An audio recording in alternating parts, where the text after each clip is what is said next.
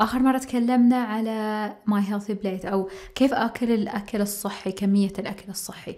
طيب أنا لازم أكون دقيق في حساب الأشياء اللي آكلها. عشان أعرف أنا مثلا قلت أنا أكل بس شوية شنو الشوية؟ الشوية تختلف من شخص للثاني. ف الدقة في حساب ما نتناوله. تختلف نظرتنا للأمور دائما فكلمة ملعقة قد تعني للبعض أي ملاعق التالية مثلا بالنسبة هذه اسمها هذه ملعقة شاي هذه مش هذه ملعقة طعام هذه ملعقة شوربة هذول ما, أدري آيس مثلا هذه الملعقة الطويلة اللي نحرك فيها ال- الأشياء ال- الآيس موكا وهذه الأشياء. فالملعقة قد تكون أي ملعقة من الثانيين. فأنا لازم أصير دقيق في حساب الكمية الأكل اللي أكله عشان أكون دقيق في حساب السعرات الحرارية. لما أقول أم، أنا أكلت صحن رز مثلا. هذا الصحن وهذا صحن وهذا صحن. كلهم صحون. فأنا لما أقول هذه الكلمة لازم أكون دقيق. أعرف كم الكمية فكيف أكون دقيق في هذه الأشياء؟ في حساب كمية الأكل اللي آكله.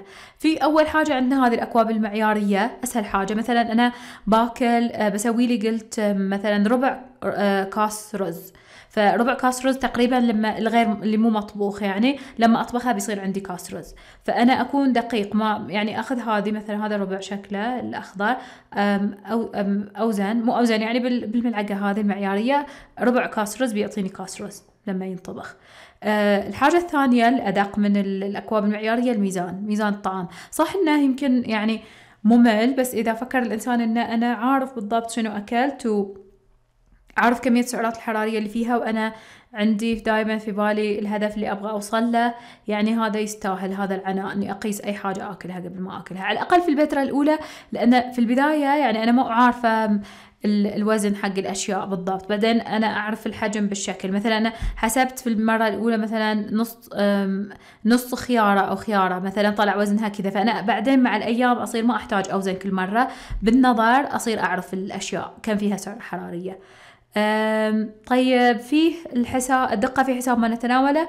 الهواتف الذكية فيه هذا MyFitnessPal اللي قبل شوية شفنا الموقع حقه بس نقدر هذول ننزلهم من الجوال. يعني رهيب جدا أنا استخدمته فترة. بس حتى فيه بالباركود أنا أسوي سكان للأشياء. مثلا عندي علبة زبادي أبغى أعرف فيها كم سعر حرارية. أسوي سكان للباركود فهو يقول لي على طول فيها كذا سعر حرارية ويسجلهم. في مثلا في بالمقياس أنا لو وزنت بالميزان اللي شفته قبل شوية أو حتى بال بالكاس المعياري قلت له ربع كاس رز يعني يطلع لي كم سعرة حرارية يعني مطبوخ ولا مو مطبوخ. إذا يعني مثلا اللغة حاجز شوية في هذه عدد السعرات الحرارية ومراقبة الحمية من حميتي. هذا آه، برنامج بال- باللغة العربية ممتاز جدا. أسوي نفس الشيء أما سكان بال- بالكاميرا حقت الجوال فهو يطلع لي كمية سعرات حرارية يطلع لي كم في بروتين كم في كاربز كل الأشياء. فهم الاثنين ممتازين بس حسب انت شو تفضل. أنا لما جربت MyFitnessPal حلو لأنه حتى في ناس تشوف تجاربهم لما تدخل على الموقع حقهم في الإنترنت تشوف قصصهم قصص نجاح هذه يعني قصص تحفيزية يعني. فحلو ان تشوف آه، تشوف قصص ناس تستفيد منهم تراقب وزنك يعني جدا حلوة هذه الأشياء. بس بنوقف لكذا في هذا الدرس والدرس الجاي إن شاء الله بنعرف شنو العوائق اللي تقف في طريقنا عشان نوصل للوزن اللي نبغى نوصل له.